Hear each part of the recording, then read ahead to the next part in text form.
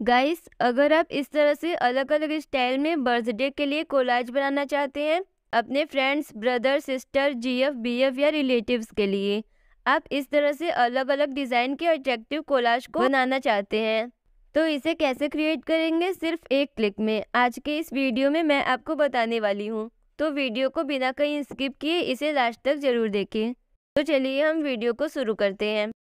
तो इसके लिए हमें एक ऐप को डाउनलोड करना होगा।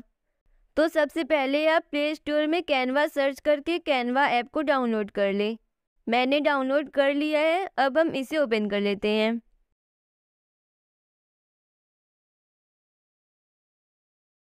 और यहाँ पर इस तरह से स्क्रॉल करेंगे तो यहाँ पर हमें फ़ोटो कोलाज के नाम से एक ऑप्शन मिल जाएगा। आप यहाँ से उसे ओपन कर लें। और अगर आपको फ़ोटो कोलाज का ऑप्शन नहीं मिलता है तो आप यहाँ पर फ़ोटो कोलाज सर्च भी कर सकते हैं। जैसे कि मैं यहाँ पर सर्च करके इसे ओपन कर लेती हूँ।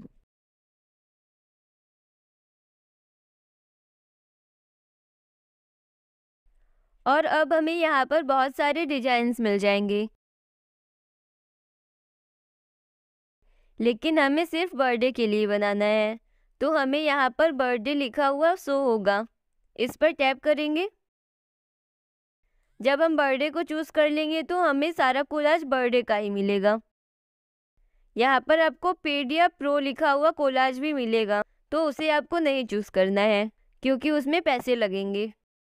तो अब हम यहाँ पर एक कोलाज को चूज़ कर लेते हैं। अब एक फ़ोटो पर क्लिक करेंगे और फिर डिलीट के आइकन पर। और नीचे हमें डिलीट इमेज का एक ऑप्शन मिलेगा। इस पर क्लिक करके इस फ़ोटो को यहाँ से डिलीट कर लेंगे। यहाँ से फ़ोटो डिलीट हो गया है। तो अब इसी तरह से तीनों फ़ोटो को यहाँ से डिलीट कर लेते हैं।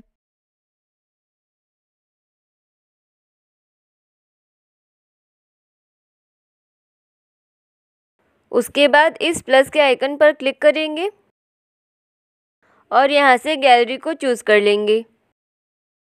और अब जिस भी फ़ोटो को लगाना है, उसे यहाँ से चूज़ कर लेंगे। और फिर ऐड टू पेज पर क्लिक कर लेंगे। और अब इसे जिस भी फ्रेम में लगाना है, उसके पास आप इस तरह से ले जाएँगे। तो ये अपने आप ही फिट हो जाएगा। इसी तरह से आगे के तीनों फ़ोटो को ऐड कर लेंगे।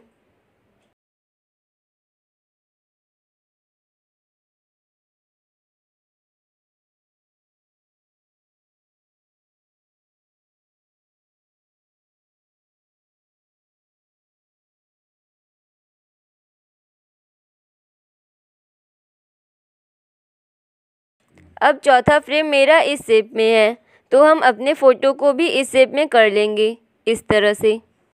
और फिर इस फ़ोटो को भी इस फ्रेम में ऐड कर लेंगे। अगर आपका कोई स्टेप गलत हो जाता है तो यहाँ पर क्लिक करके एक स्टेप पीछे भी जा सकते हैं।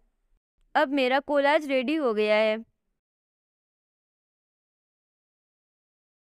अगर आप इस तरह से एनिमेट वाला स्टोरी या इस तरह से एनिमेट वाला पोस्ट क्रिएट करना चाहते हैं। तो इंस्टाग्राम स्टोरी के लिए इस वाले वीडियो को और इंस्टाग्राम पोस्ट के लिए इस वाले वीडियो को एक बार ज़रूर देख लें। इन दोनों वीडियो का लिंक आपको डिस्क्रिप्शन बॉक्स में मिल जाएगा और आपको इस वीडियो के लास्ट में भी मिल जाएगा। आप वहाँ से भी इसे देख सकते हैं। तो अब हम इस कोलाज को अपने गैलरी में सेव कर लेते हैं। इसके लिए ऊपर इस आइकन पर क्लिक करेंगे और इसे यहाँ से सेव कर लेंगे। इसी तरह से आप बहुत ही आसानी से फ़ोटो कोलाज को क्रिएट कर सकते हैं।